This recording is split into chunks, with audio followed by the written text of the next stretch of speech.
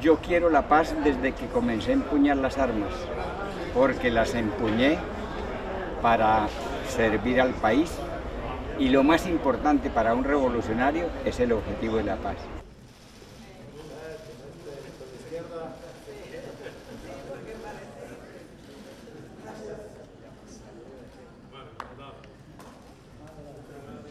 Nosotros como delegación del gobierno aspiramos a avanzar lo más que se pueda.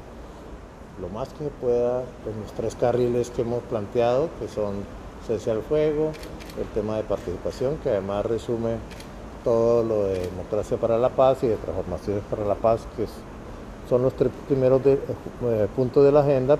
A esta mesa de diálogos, bienvenido.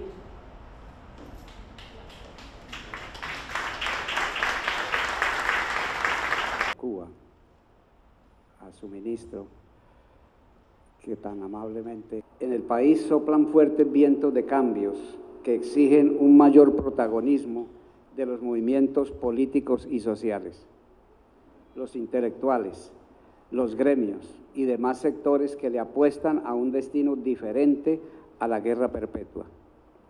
A la delegación del ELN un saludo y por supuesto también a los medios de comunicación que nos acompañan. Nos mueve la plena conciencia de que cada día de guerra tiene un costo enorme en vidas. Con ese organismos acompañantes, el secretario general de las...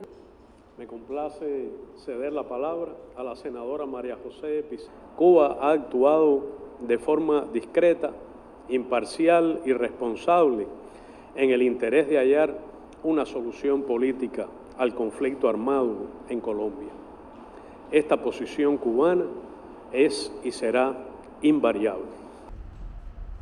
El de los jóvenes, mujeres y pueblo en general, levantado en...